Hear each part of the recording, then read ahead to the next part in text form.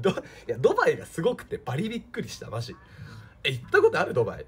やばいぞあの国。俺あアメリカとかも行ってきたわけど別に。なんかニューヨークとかラスベガスとかロサンゼルスとか見て見たっちゃん。すごかったしわかっけえなと思ったし。でも俺ニューヨーク見た時に別に日本の方がすごくないって思ったっちゃうね。いやでも結局日本がすごいなって思っとったっちゃうね。んでドバイに行って全部怖い。ドバイのがすげえ。ドバイはすごい。やばい。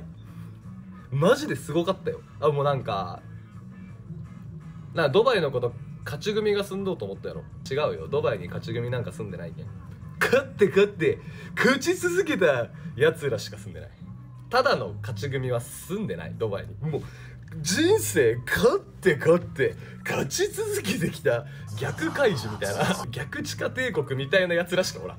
世界で一番大きいショッピングモールあってで行ってみようと思ってパッて行ったらもうなんかそのあのもうこの世の灰ブラ全部入れてますみたいな。そうドカドカドカドカドカドカってあるわけでもう覇者しか歩いてなくてもうこんなもう覇者の家族連れとかベビーカーパーって引いとっちゃうけどペッて見たらベビーカーフェンディーなんよもうベビーカーもフェンディーなんよね。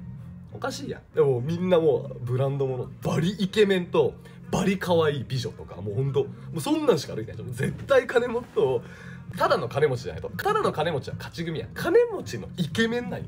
もう覇者や。んもう大イケメンなんよ。でも背も高くてね嫁さんももうなんかもうこんなもこんなもうジェニファー・ロペスみたいなのがもうすごいわけよ。物価とかもバリ高いし日本食のご飯屋さんがあるからご飯食べに行こうって言ってパ食べ行ったわけよね。でパクパク食べよって牛丼あるわと思って牛丼頼もうと思って牛丼パッ頼んだっちゃうね。牛丼パッて来たら3万円やった俺3万の牛丼食ってパクパクって。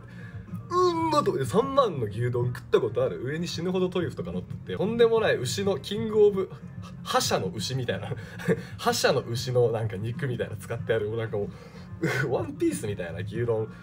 バリうまくてなんやこの食いもんパクパクパクみたいな。すごすぎるやろ。